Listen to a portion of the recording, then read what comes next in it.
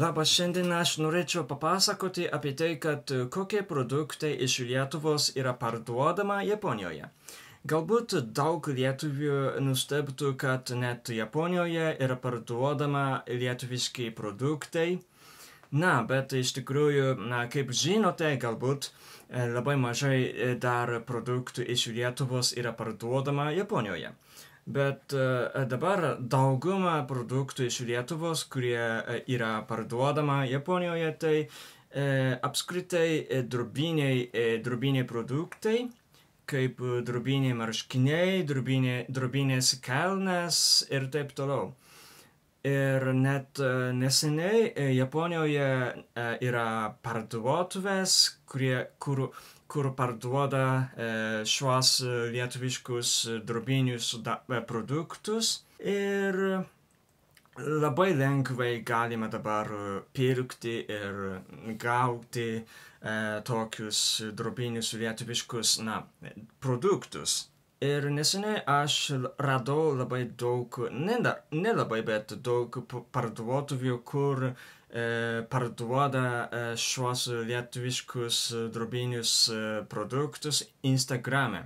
Ir Instagrame galite tikrinti, e, kokie e, produktai, drobiniai e, produktai iš Lietuvos yra parduodama Japonijoje ir labai daug įvairių uh, produktų, drobinių pro produktų yra Instagrame, na tam nu, nuotraukose galite pamatyti. Ir tokie produktai yra labai graži, kaip matote Instagrame.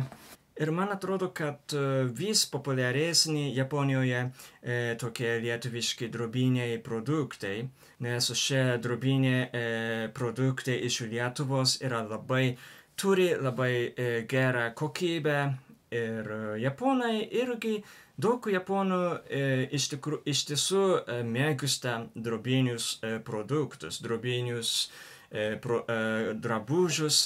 Todėl aš gal manau, kad Japonijoje yra populiaresni, vis populiaresni yra lietuviški drobiniai, drobiniai produktai.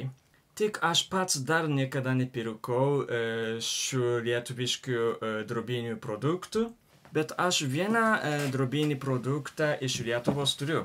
Ir šis produktas tai e, ši e, rankinė. Labai graži, gražia rankinė, kaip matote. O aš to nepirkau, tik aš, e, aš tai gavau, e, kai aš lankiau Lietuvos ambasadą Tokijuje. Tada buvo e, kažkoks renginys ir aš buvau pakviestas į šį renginį, kuris vyko Lietuvos ambasadoje Tokijuje. Ir tada aš gavau šią gražią rankinę. O čia viduryje e, parašyta, kad Made in Lithuania. Todėl tai iš tikrųjų, todėl tai tikrai e, buvo pagaminta Lietuvoje. Ir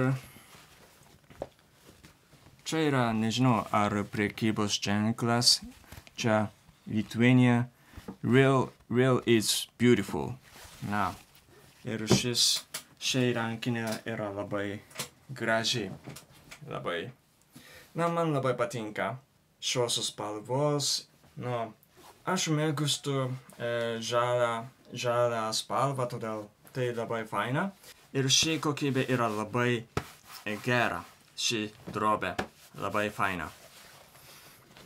Aš e, dar e, tik kelis kartus e, naudojau, kai ėjau į parduotuvę ir, ir įdėti tik produktus. Na, tai yra lygiai e, didelį, didelė, tada labai naudinga. Labai naudinga.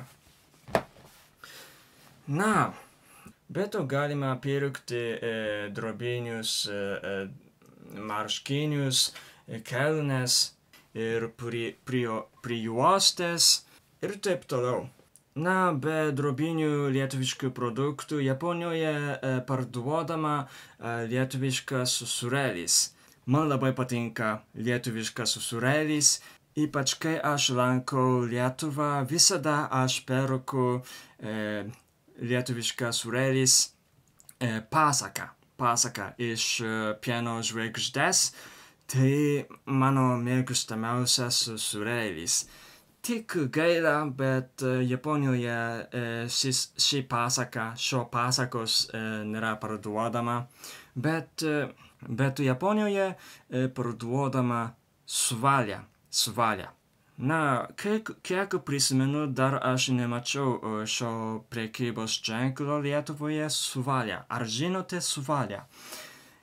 Na, Japonijoje ne visur parduodama šios, šią suvalę, bet uh, ke, keliuose, parduotuvė, keliuose parduotuvėse galima uh, pirkti uh, suvalę, lietuvišką surelį.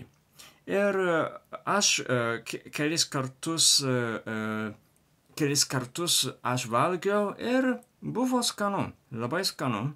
Apskritai, Japonijoje nėra surelio.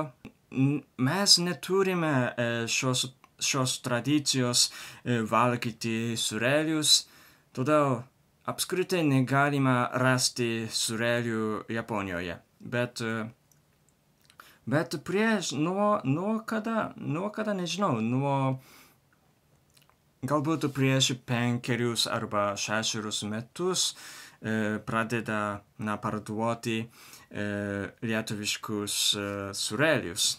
Na, aš tikiu, kad e, bus daugiau surelių galima pirkti Japonijoje. Na ir be to Japonijoje dar yra e, kartais parduodama e, lietuviški alkoholis, lietuviškas alkoholis, alkoholis, bet įprastai aš negeriu geriu alkoholio, todėl aš nežinau, uh, koks, uh, koks yra alkoholis iš Lietuvos, bet aš tik žinau, kad parduodama. Ir medaus, net yra medaus alkoholis uh, iš Lietuvos. Na, internete galima rasti labai lengviau. Pavyzdžiui, Amazone ir taip toliau. Bet aš niekada nepirkau. Na, Japonijoje, kiek žinoma, tik tokie produktai yra parduodama. E, drobiniai, drobiniai produktai ir e, surelis ir alkoholis. Na, iš Lietuvos aš dar e, norėčiau e, Japonijoje lietuviškos, lietuviško medaus. Aš manau, kad lietuviškas medus yra geriausias visame pasaulyje. Na, aš tik uh, valgiau uh, med medų iš Lenkijos, iš Estijos, iš Latvijos ir iš Ukrainos ir iš Lietuvos. Na, tik iš rytų Europos, bet aš manau, kad iš Lietuvos yra geriausias, yra medus. Tik labai gaila, kad dar Japonijoje negalima pirkti lietuvišką medų. Aš manau, kad jeigu, jeigu uh, parduot, jeigu pradeda parduoti lietuvišką medų Japonijoje, tada daug, labai daug japonų pirktų e, medų iš Lietuvos. Nes tikrai aš žinau, kad kokybė yra labai gera. O med, dabar e, Japonijoje e, medus yra e, parduoda, parduodama iš e, Amerikos, na, Jungtinės Amerikos valstybės, Australijos, Nauja Zelandijos ir kur. Ir kažkokios, š, kažkokių šalių Azijoje. Mianma, Mianma, Birmo, Birmoje, aš nežinau lietuviškai, Birma. Mianma, tai Japon, japoniška Mianma, angliška irgi Mianma. Ir, ir Vengrijos, ir Rumunijos, iš Rumunijos irgi yra, bet lie, iš Lietuvos nėra. Kodėl? Aš nežinau. Aš manau, kad lietuviškas medus yra geriausias. Todėl aš tikiu, kad kažkoks lietuvis arba kažkokia lietuvė e, ateityje pradeda e, parduoti lietuvišką medų Japonijoje. Aš tikrai tikiu. Arba, nežinau, Japonai galbūt na, ateityje pradėtų E, parduoti lietuvišką medų. Na, įprastai japonai labai mėgsta medų, todėl galbūt bus populiarus Japonijoje. Na tai viskas. Ačiū, kad žiūrėjote ir iki pasimatymo.